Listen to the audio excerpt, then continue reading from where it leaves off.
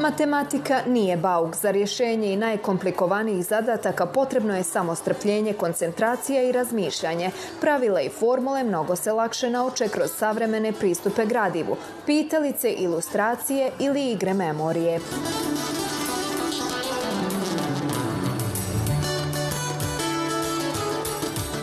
Više od stotinu učenika iz sedam osnovnih škola umijeća brzog rješavanja zadataka pokazali su kroz prvi sajam matematike matematičko putovanje. Ovdje smo da pokažemo da ne mora biti toliko strašna i da se sve može kroz neki lakši i zabavniji način naučiti, što i zapravo i, i uspijevamo, e, jer kroz razne igre, na primjer Twister ili Memory, mi ovdje učimo mlađe generacije i nadam se da, da im je zabavno koliko i nama.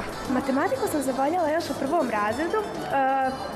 Tada sam počela ići na program Malac genijalac, znači mentalna aritmetika. To mi je bilo jako zanimljivo i, i u prvom razredu sam bila i, prvak, e, međunarodni prvak na olimpijadi u Beogradu i tu se razvila i ta moja ljubav prema matematici, tamo sam išla tri godine, naučila stvarno svašta što mi i dan danas pomaže. Učenici saglasni da je za uspjeh u matematici neophodno samo dovoljno vježbati. Kroz ovaj sam sam naučila mnogo toga, naučili smo nešto što uopšte nismo radili na nastavi, na primjer o hanovskim kulama, o tangramu, o zlatnom prijesjeku i nešto što mi uopšte ne radimo u ovom razred. Treba se dosta vježbati jer se, na primjer, zaboravi se sve kad dugo ne vježbamo, ali dosta je jednostavno kada to uvježbamo i kada naučimo pravila.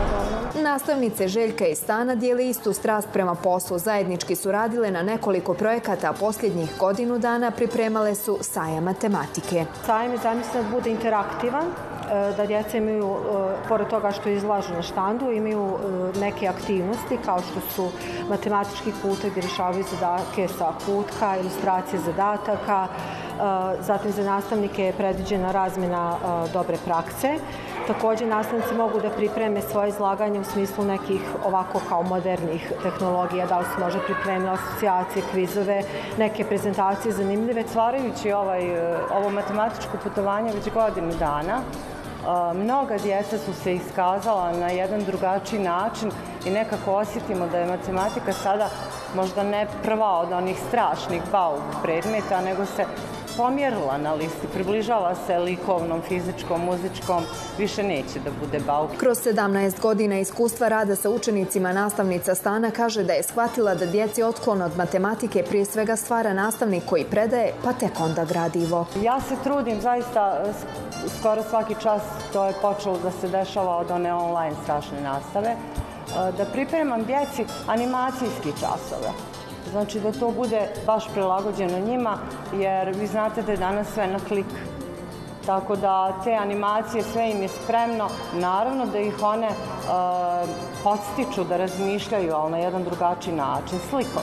Matematičko putovanje prilika i za nastavnike da razmijene dobra iskustva iz prakse. Mi inače kao nastavnici imamo rijetko kad mogućnost da se susrećemo. Susrećemo se na takmičenjima na kojim uglavnom radimo, te e, ispravljamo zadatke i nemamo vremena za nekakvu posebnu razmjenu iskustava.